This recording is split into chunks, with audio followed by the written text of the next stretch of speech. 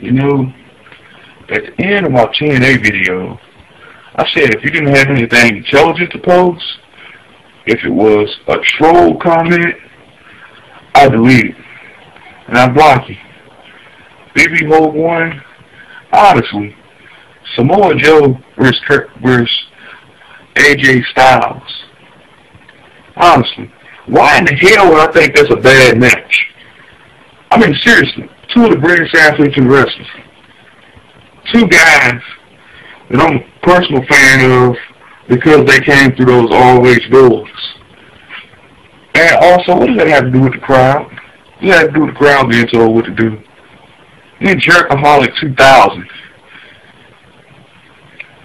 Wow, son. Wow. I mean, seriously?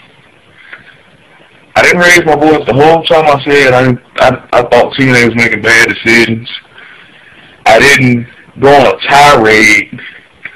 And you write you write something that really really doesn't have much to do with the video at all, overreacting, and don't even leave, even smart enough to leave a logical reasoning behind your statement. Wow. So I respond to these comments because I I thought that they really didn't have much to do with the video, and it was just somebody that looked at the name of the video and came on there and just wrote comments down just for the heck of it. Now I I I do like both Styles and Samoa Joe, but at the same time, this match could be better. In fact, it probably was better it was a Ring of Honor ring. Now, I'm not saying these guys could, I'm not saying these guys doing a bad job in TNA, but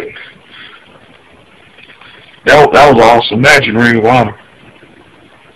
And I also think, even though I didn't read the second set of spoilers, thank you for spoiling that for me, because I, I, I'm done, pretty much done with TNA. I pretty much read the spoiler, see what happened, but that's it. But I didn't raise my voice, guys. The overreacting comment was ludicrous, retarded, and didn't like it, like all knowledge behind it. Jerk all in 2000, I wish you would have actually stated that I was overreacting and then had something else to say that was actually smart behind it because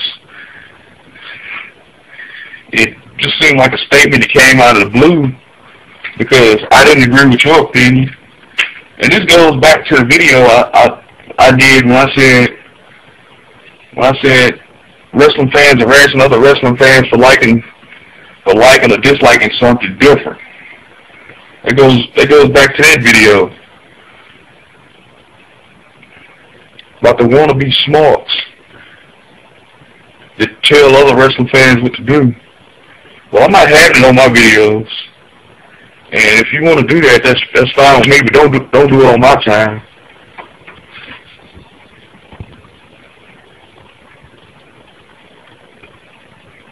But I can honestly tell you that Samoa Joe versus AJ Styles and against all odds, that's gonna be a good match.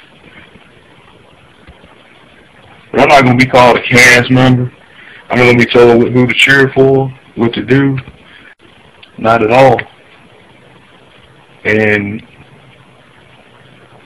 as far as as far as that situation goes, like I said before, I look at the spoilers, see if this actually starts some type of angle where it's the old guys against the new guys or something.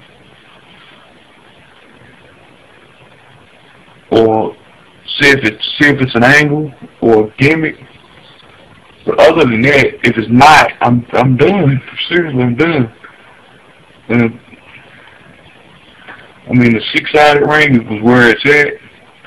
Best matches in that ring, and several of those matches had Styles and Joe in it. And add Chris Christopher Daniels to the mix, and that was my favorite match in TNA.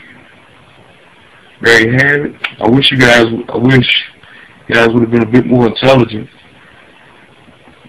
And you know, I asked the the Styles Joe comment.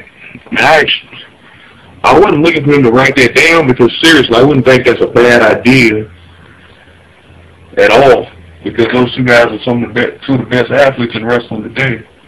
But I wish y'all would watch the video longer before y'all actually wrote your statements down. Jerk Hall 2000, you blocked because you didn't have anything intelligent to say. And in a way, it was kind of rude. And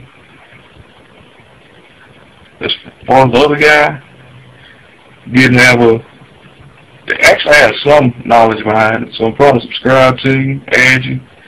There you have it. Peace.